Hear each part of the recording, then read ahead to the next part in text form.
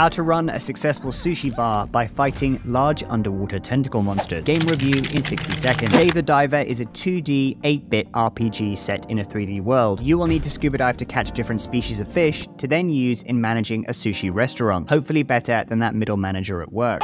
Every day, you dive deep into the Blue Hole, a set of underwater locations teeming with aquatic life. Equipped with a diving knife, harpoon gun, and an extra weapon, you will be able to hunt or catch fish. Swimming around, you will find resource caches and air pockets. These give you extra time underwater to complete quests, find items, and fish. Here, fishy fishy, oh damn! There are multiple stories and characters to follow, each unique and filled with comedic pop culture moments and cutscenes that are a joy to watch. There is also a mobile phone filled with apps that help you upgrade, track progress, manage events, and pretty much everything in the game, and a calculator for calculations. The game has so many different mechanics that it doesn't fit into a 60 second video.